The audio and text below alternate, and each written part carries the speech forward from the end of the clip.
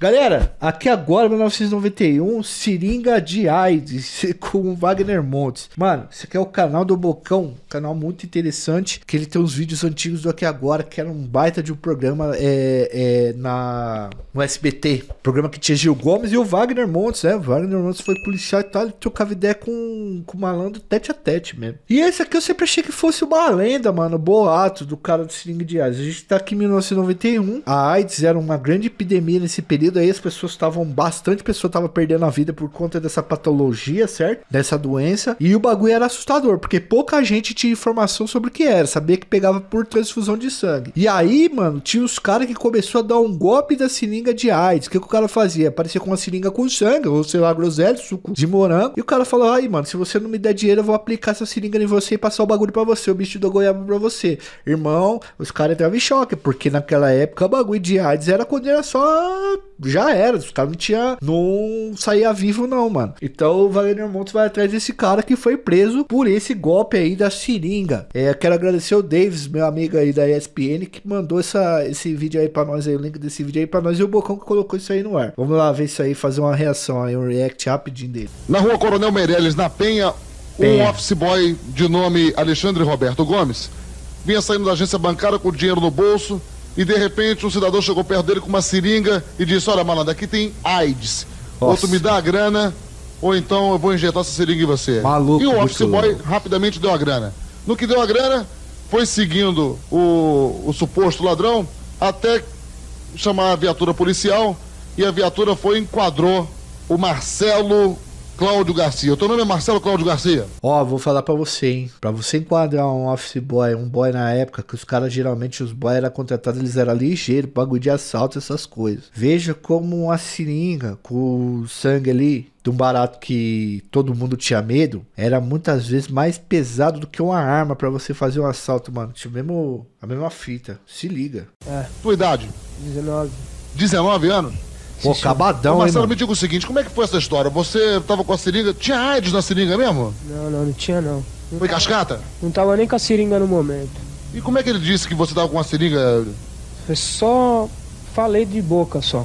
Só Você falou de, de boca? Intimidou? intimidei, nem mostrei seringa pra ele nem nada. Mas tu não anda armado? Não, O pessoal da Polícia Militar disse que tu também gosta de, de- de traficar um pó, é verdade? não. É- não é verdade mesmo, não? Ih, o Wagner Montes já meteu outro crime no cara aí, mano. Ele certamente foi orientado a falar que não tava com a seringa, não andou com o bagulho e tal, não sei o que mas certamente ele mostrou a fita, né, pro cara. O cara dá o dinheiro. Mas, mano, vou falar pra você, ó, já tô querendo jogar outro bagulho na costa do cara já.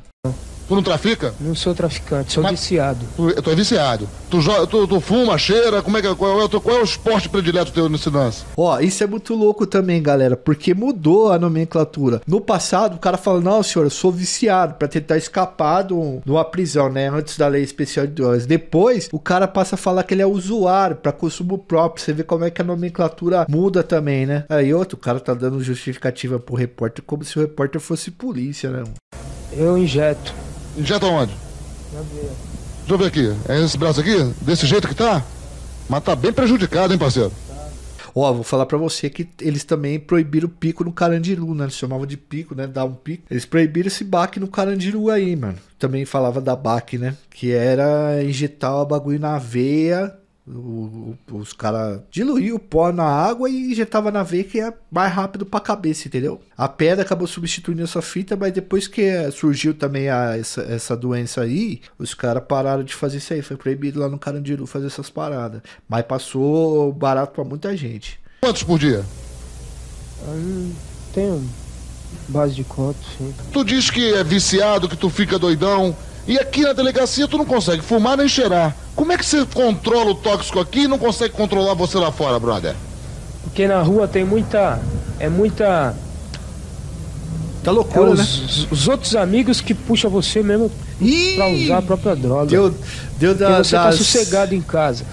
Que nem já aconteceu, de eu estar dormindo, chegar nego, As companhia. chegar um rapaz em casa e me chamar pedindo seringa pra mim usar. E eu como viciado, eu vou ver o rapaz usar, eu não vou aguentar.